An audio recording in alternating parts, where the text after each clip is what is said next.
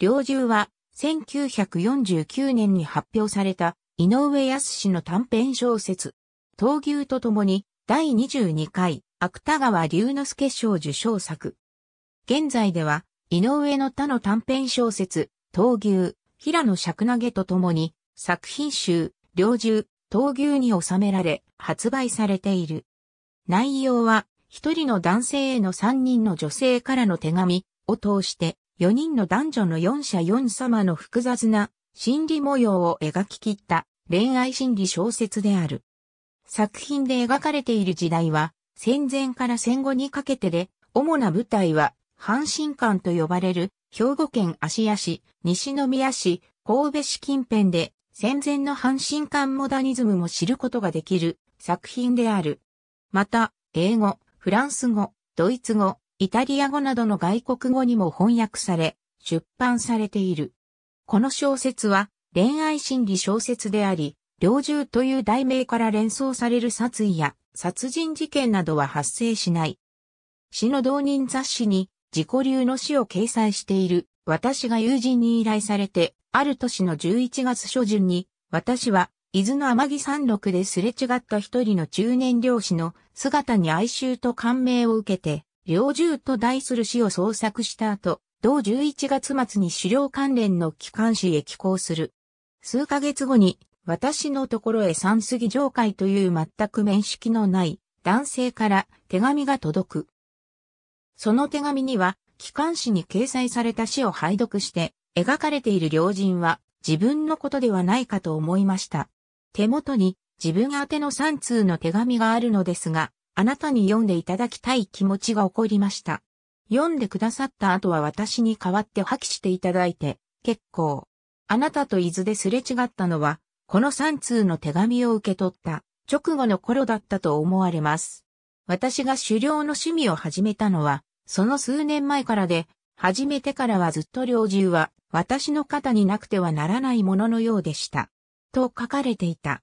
そしてよくよく日、三杉に当てて書かれた三通の手紙が別便で私のところに送付されてくる。三通の手紙は順に、翔子の手紙、緑の手紙、綾子の手紙で構成されている。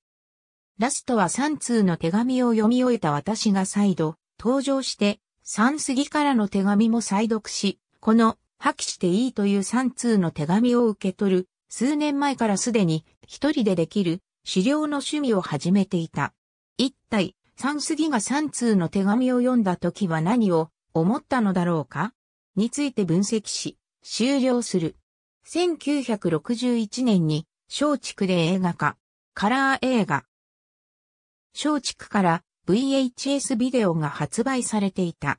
芦屋に住む綾子のもとに女が現れ、夫、角田の子供だという少女、翔子を置いていく。綾子は夫に離婚を切り出し、十枚の緑の夫、三杉と不倫関係に陥る。二人の関係に気づく緑だが、知らぬふりをしたまま夫婦関係を続け、綾子と三杉のジョージも八年を数えた。翔子も年頃の娘に成長し、三、杉へとも家族ぐるみの付き合いが続き、表面的には平和な日々を送っていた。1957年1月12日から同年2月23日まで KRT でドラマ化。初のドラマ化であり、唯一の連続ドラマ。放送時間は毎週土曜20時20時30分。出演者スタッフ1963年11月3日にネットの日本映画名作ドラマで単発ドラマ化。出演者2003年2月18日に NHKBS2 の朗読機構日本の名作で単発の映像化。カナダ、東海岸、モントリオールと日本で2011年9月から同年11月にわたって本作を原作とした舞台劇が上演された。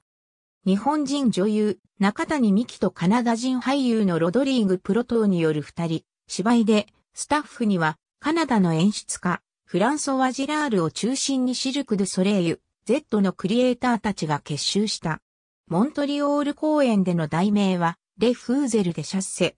モントリオールでは日本語で演じながらも、フランス語の字幕付きでの上演となった。当初は日本で初演を迎える予定であったが、モントリオールでの初演は全公演のチケットが完売し、初日の上演後にはスタンディングオベーションで迎えられるなど大成功を収めた。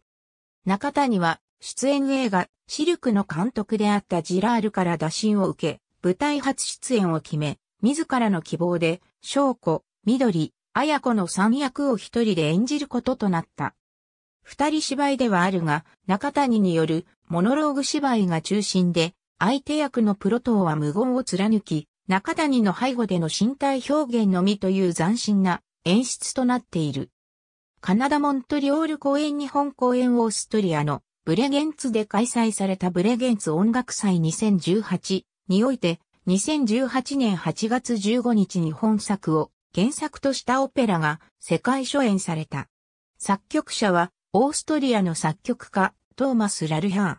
作品は全3幕で幕合の休憩はなく連続して上演された。猟銃に関するカテゴリー、猟銃に関するカテゴリー、猟銃に関するカテゴリー。ありがとうございます。